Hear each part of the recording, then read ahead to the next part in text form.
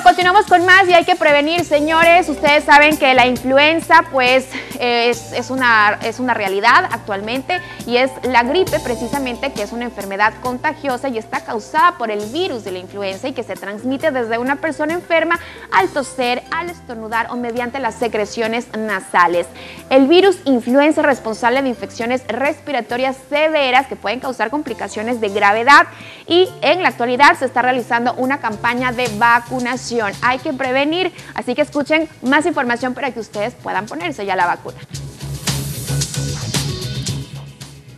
Estudios recientes han demostrado que la vacuna contra la influenza reduce el riesgo de contraer enfermedades de un 40 a un 60% durante los tiempos de cambios de climas. Pero, ¿quiénes son aptos para colocársela?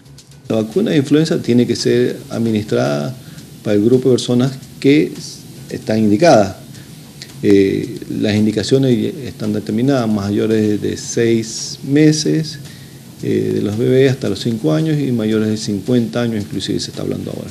El efecto de la vacuna es de un año, pero también recordemos que la efectividad de la misma puede variar según la persona a la que se la administra. El profesional nos recuerda las distintas vacunas de la influenza que existen. Actualmente hay vacunas tri y tetravalentes. Las trivalentes tienen este, cepas de influenza A, H1N1, A, H3N2 e influenza B. Pero ya están habiendo las vacunas tetravalentes, en las cuales se, se ha visto que no tienen una cobertura 100%. Entonces se está administrando dos influenza A, dos tipos de vacunas de influenza A y dos vacunas de influenza tipo B. Entonces serán H1N1, H3N2, que son las más comunes de las A, y las B, dos tipos de B.